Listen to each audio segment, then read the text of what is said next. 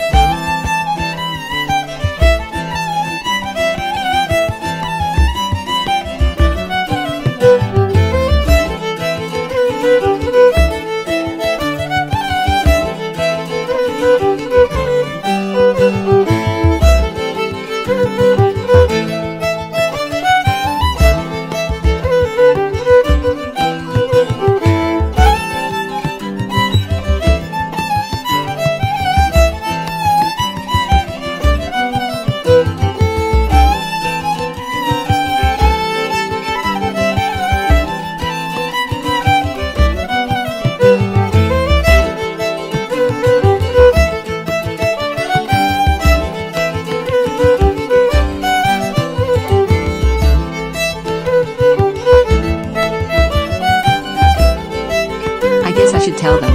I don't even think there are leprechauns in this universe. Me.